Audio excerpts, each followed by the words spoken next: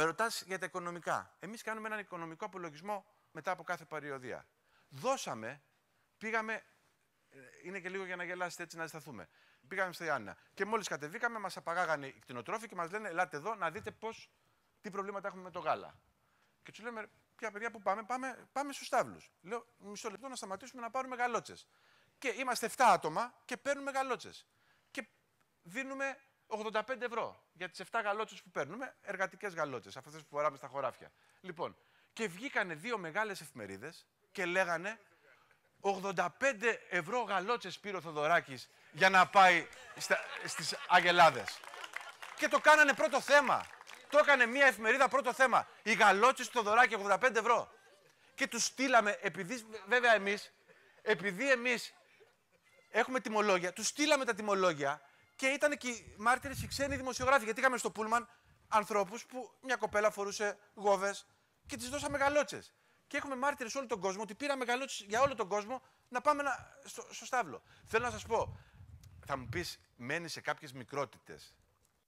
Ούτε καν το σχολιάσουμε στην Αθήνα. Το λέω τώρα όμως γιατί υπάρχει αυτή η συζήτηση για τα οικονομικά μας. Προσέξτε, υπάρχει μια συζήτηση για τα οικονομικά μας. Για ποια οικονομικά μας, Για τα δικά μας οικονομικά. Και ποιος την προκαλεί αυτή η κουβέντα, Τα κόμματα που χρωστάνε 300 εκατομμύρια στις ελληνικές τράπεζες. 300 εκατομμύρια. Πέρα από τη χρηματοδότηση, πέρα από τη χρηματοδότηση που είναι 50 εκατομμύρια ετησίως, που τη κάναμε 30 και τώρα που θέλει να γίνει 10, κάποιοι που θέλουν να αναλάβουν την εξουσία και λένε ήρθε η σειρά μας να πάρουμε τα λεφτά, διαφωνούν. Διαφωνεί ο ΣΥΡΙΖΑ με τη μείωση της χρηματοδότησης. Που μέχρι τώρα συμφωνούσαμε όλοι να μειωθεί η χρηματοδότηση των κομμάτων. Έχουμε λοιπόν τα λεφτά της Βουλής, τα λεφτά των Ελλήνων. Έχουμε και 300 εκατομμύρια δάνεια. 300 εκατομμύρια δάνεια. Έτσι. Έχουμε το απλήρωτο ρεύμα, καλά κάνεις και τα λες. Να μην πω για τους απλήρωτους υπαλλήλους. Όλα αυτά, το ΙΚΑ κτλ. Και, και λένε, ας το μαύρο χρήμα, πες ότι δεν υπάρχει. Έτσι. Έχουμε όλο αυτό και βγαίνουν αυτοί και λένε, κάτσε, πώς γίνεται; Αφού, στη, αφού στα Ιωάννινα πήρατε από εισφορές μελών 3% και εξοδεύσατε 3.500.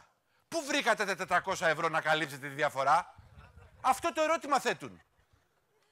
Αυτό το ερώτημα θέτουν. Λοιπόν, τα οικονομικά μας είναι απόλυτα διάφανα.